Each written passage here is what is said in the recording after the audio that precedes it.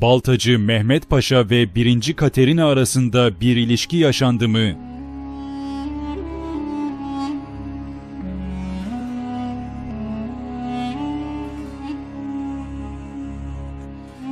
Tarih güzel öğretilerinin dışında ilginç dedikoduların da içinde yer aldığı koca bir deryadır.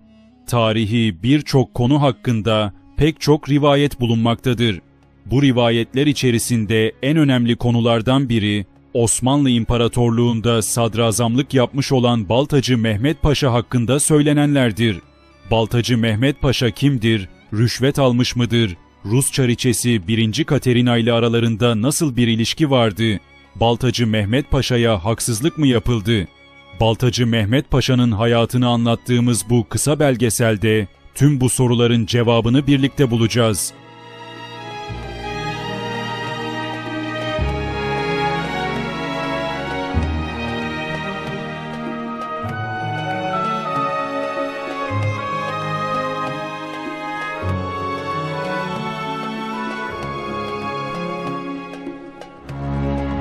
Baltacı Mehmet Paşa, Çorum sınırları içerisinde kalan Osmancık ilçesinin Karaağaç köyünde doğdu. Köyün günümüzdeki ismi Baltacı Mehmet Paşa'dır. Bilgiye olan merakı çocukluk yıllarına dayanmaktaydı. Genç yaşındayken ilim öğrenmek maksadıyla Trablusgarp, Tunus ve Cezayir'e çeşitli seyahatler etti. Daha sonra İstanbul'a döndü ve akrabalarından Hacı Sefer Ağa vasıtasıyla saraya hizmetli olarak girdi. Sarayda ilk olarak Enderun'da Zülüflü Baltacılar kısmında baltacı olarak görev aldı. İsminin önüne eklenecek baltacı lakabı da bu dönem aldığı görevden gelmektedir. Baltacı adıyla tanındı. Güzel sesli olduğundan musikiye heveslenmiş ve müezzin olup Mehmet Halife namını, temiz yüzlü ve akça pakça bir insan olduğu için de Pakçe Müezzin lakabını kazandı. Ardından katipliğe heveslenen Baltacı Mehmet Efendi, önce yazıcılığa, Aralık 1703'te ise ikinci İmrahorluğa tayin edildi. İkinci İmrahor olarak görev yaptığı dönemde Şehzade Ahmet'le yakın ilişkiler kurdu. 1703'te gerçekleşen ve tarihe Edirne vakası diye geçen büyük isyanda isyancılarla yakın bağlantılar kurdu. Bu isyancıların Sultan II. Mustafa'yı tahttan indirip yerine kardeşi Şehzade Ahmet'i tahta geçirmeleri için büyük gayretler gösterdi. İsyancıların desteğiyle 3. Ahmet padişah oldu ve tahta çıktı. Sadrazam Moralı Damat Hasan Paşa, sultanın teveccühünü kazanan ve böylece hızla ilerlemesi beklenen Baltacı Mehmet'i kendine rakip olarak görmekteydi. Birçok terfinin yapıldığı o dönemde Sadrazam Moralı Damat Hasan Paşa, rakibi Baltacı Mehmet'i terfi ettirmedi. Baltacı Mehmet, kendi çabalarıyla geç de olsa 1. İmrahorluğa kadar yükseldi. Bu kez de Trablusşam ve Halep taraflarına tahsildar olarak görevlendirildi. Sadrazam Moralı Damat Hasan Paşa, güzel sesli, hitabeti kuvvetli, keskin zekalı Baltacı Mehmet'i payitahttan uzak tutmak için bu görevi vermişti. Sadrazam Moralı Damat Hasan Paşa 28 Eylül 1704 tarihinde azledildi ve karısı Hatice Sultan ile birlikte emekli edilerek İzmit'e sürgüne gönderildi. Ondan boşalan sadrazamlık görevine ise Kalaylı Koz Hacı Ahmet Paşa getirildi. Bu görev değişimi Baltacı Mehmet'in işine yaradı ve vezir ve kaptanı derya olarak İstanbul'a döndü.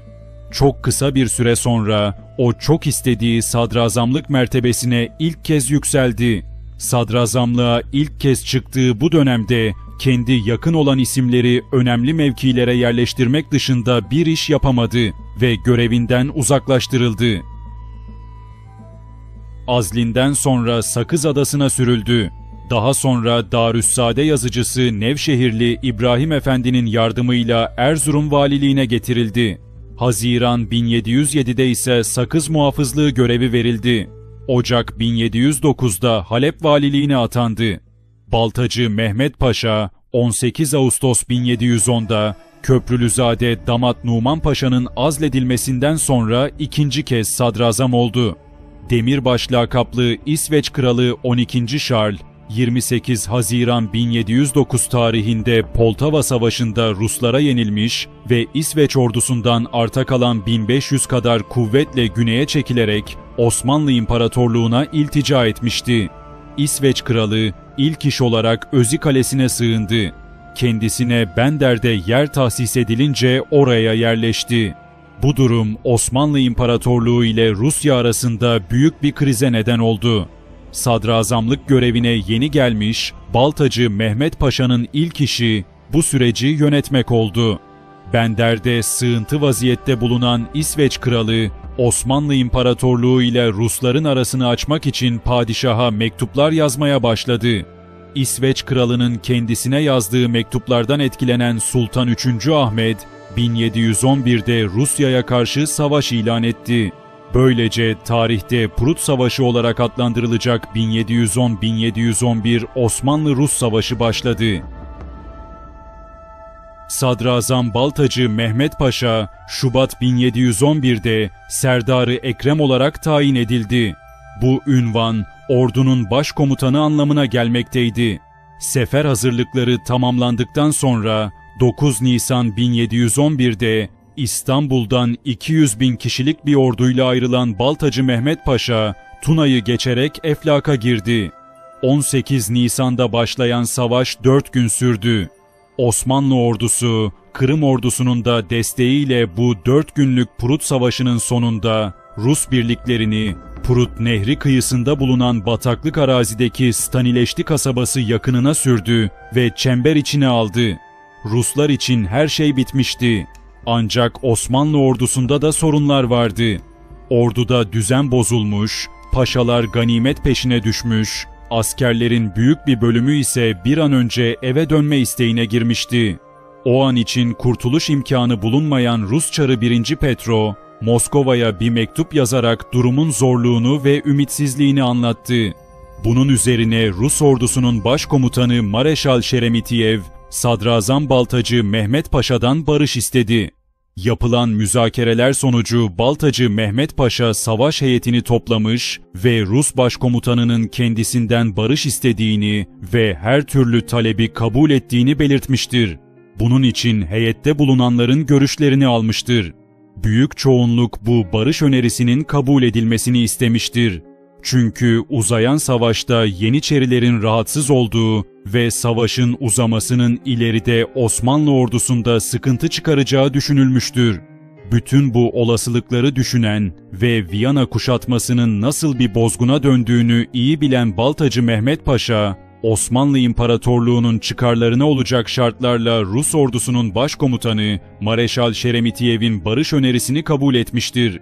21 Temmuz 1711 tarihinde Osmanlı İmparatorluğu ile Rusya arasında meşhur Prut Antlaşması imzalandı. Antlaşmanın imzalanmasından payitahta bulunan Sultan 3. Ahmet de büyük memnuniyet duymuştu. Sadrazam Baltacı Mehmet Paşa, Rus çarı 1. Petro'ya güvenmediği için Rus Dışişleri Bakanı ve Rus Başkomutanını da yanına alarak payitahta döndü. Bir süre sonra Sadrazam Baltacı Mehmet Paşa'nın tahmini doğru çıkacaktı. Kısa bir sürede ordusunu toparlayan Rus çarı 1. Petro antlaşmayı bozdu. Buraya bir not düşmek istiyorum. Rus çarının deli lakabıyla anılmasının sebepleri bu tür mantıksız hareketlerde çok sık bulunmuş olmasıdır. Hangi hükümdar, Dışişleri Bakanı ve Başkomutanını esir etmiş bir ülkeye savaş açar? Neyse, biz konumuza dönelim. Rus çarının antlaşmayı bozması üzerine Osmanlı İmparatorluğu yeni bir savaş hazırlığına başladı. Bu arada Rus bakan ve başkomutan çarları Petro'ya mektup yazdılar. Mektupta Osmanlı İmparatorluğu'nun savaş hazırlıklarına başladığını, Rusya'nın mevcut haliyle bu savaşta galip olamayacağını ve Rus yenilgisinin mutlak olacağını belirttiler. Rus çarı çok güvendiği bu iki ismin mektubunu dikkate alarak Prut Antlaşması'na sadık kaldı ve Azak Kalesi'ni hemen Osmanlı İmparatorluğu'na iade etti. Yaptırdığı yeni kaleleri ise yıktırdı. Ek olarak Azak Denizi'ndeki Rus donanmasına geri çağırdı. Sadrazam Baltacı Mehmet Paşa haklı çıkmış ve Prut Savaşı'nı zaferle bitirmişti. Ancak hiçbir başarı cezasız kalmazdı. Yaşanan bu durumlar sadrazama karşı İstanbul'da bir muhalefet grubunun oluşmasına yol açtı. Prut başarısı önce İstanbul'da büyük bir sevinç uyandırarak şenlikler yaratmışsa da İsveç kralı, Kırım hanı ve paşaya karşı muhalif olan kitle padişahı yönlendirmeye başladı. Bu üç grubun yönlendirmesinin tesirinde kalan Sultan 3. Ahmet, Sadrazam Baltacı Mehmet Paşa'yı Edirne'ye çağırdı. Edirne'ye dönen paşa büyük bir şok yaşayacaktı. Sadaret mührü kendisinden alınan ve sadrazamlıktan azledilen Baltacı Mehmet Paşa, kalebentlikle Midilli adasına sürüldü. Ardından Temmuz 1712'de Limni adasına sürgüne gönderildi ve Eylül 1712'de burada vefat etti. Öldüğünde yaşı 50'yi biraz geçmişti. Baltacı Mehmet Paşa'nın Rus çariçesi 1. Katerina ile münasebeti olduğu iddiası koca bir yalandır. Bu iki tarihi şahsiyet hiç karşılaşmamıştır bile. O dönem yazılmış Rus, Avusturya ve Türk kaynaklarının hiçbirinde bu yönde tek bir bilgi yer almamaktadır. Ünlü tarihçi Profesör Doktor Erhan Afyoncu bu konunun çok sonradan 19. yüzyılda uydurulmuş bir dedikodu olduğunu belirtmiştir. Baltacı Mehmet Paşa'ya atılan bu iftira hakkında siz ne düşünüyorsunuz?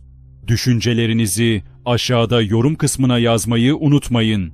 Bu tür içeriklerin devamının gelmesi için videoyu beğenip bizi desteklemek için kanalımıza abone olabilirsiniz. Bir sonraki videoda görüşmek dileğiyle, hoşçakalın.